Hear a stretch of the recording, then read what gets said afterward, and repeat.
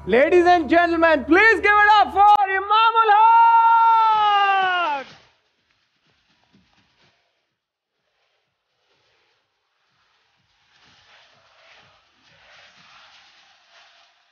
Assalamualaikum, Imam. Thank you, thank you, thank you. Welcome. Welcome to the Talk Talk Show, Imam. Thank you sir thank you thank you thank you आपने हमें join किया यार आप ये हमारे लिए बड़ा स्पेशल शो है जैसे मैंने कहा अपने इंट्रो में भी you the first cricketer ever उसका मुनार शो थैंक यू सर पहले तो बहुत बहुत शुक्रिया फॉर इनवाइटिंग मी मेरे लिए भी बहुत एक्साइटमेंट है क्योंकि हम क्रिकेटर्स ज़रा कम जाते हैं इस तरह के शोज़ पे क्योंकि हमें ज़रा थोड़ा सा काफ़ी चीज़ों का ख्याल रखना है लेकिन आई एम वेरी एक्साइटेड मैं उन चीज़ों के बारे में ज़रूर आपसे पूछना चाहूँगा कि क्यों ख्याल रखना चाहता है। बट इमाम मुझे ये बताएँ हम जब भी हमारे जो क्रिकेटिंग स्टार्स हैं बल्कि हमारे मुल्क ने तो बहुत बड़े बड़े क्रिकेटिंग लेजेंड्स हमें दिए हैं जब भी उनकी कहानियाँ सुनते हैं उनका स्ट्रगल सुनते हैं बहुत इंस्पिरेशन मिलती है हमेशा।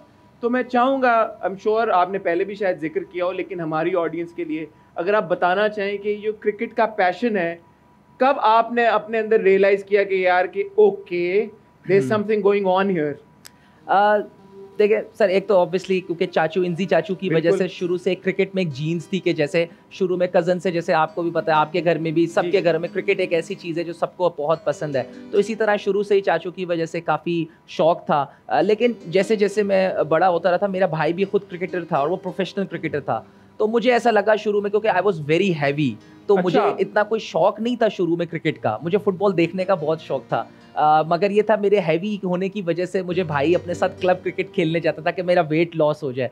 तो इस तरह मुझे जो है जाके पता चला कि यार मुझे लोगों ने आपको पता है कमेंट मिलना शुरू था कि यार इस ये अच्छा टैलेंटेड लड़का है मैं फील्डिंग अच्छी करता था तो मुझे बस बुला लिया करते थे। तो इस तरह जो है मुझे लगा फिर जब मुझे नहीं पता वो शौक जो है बिल्कुल पैशन में चेंज हो जाएगा फिर चाचू को टीवी में देख देख के इतना ज़्यादा उनसे ज़्यादा इन्फ्लुएंस होते थे हम ज़्यादा कि जिस तरह वो मैच विनर के लाते थे और जिस तरह उन्होंने पाकिस्तान को सर्व किया। तो इस तरह जो मुझे लगा कि यार एक ख्वाहिश आई एक इंसान के ड्रीम्स बने कि यार मुझे लगता है कि मेरा भी प्रोफेशन जो है क्रिकेट होना चाहिए। टैलेंट वोलेंट उसका मुझे नहीं पता कि कितना था लेकिन ये था शौक बहुत ज़्यादा।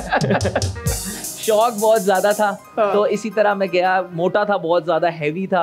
लेकिन जो है वो ड्रीम्स जो है Aahista Aahista step by step इतने बड़े होते गए हम्म। कि उसके पीछे मैं लगता रहा। आपने बोला कि शायद आपको अंदाज़ा नहीं था कि आप में टैलेंट कितना है कितना नहीं है बट माशाल्लाह you debuted with a century जी अल्हम्दुलिल्लाह का only one of two Pakistan second Pakistani ever जिन्होंने अपने डेब्यू में 100 हिट किया।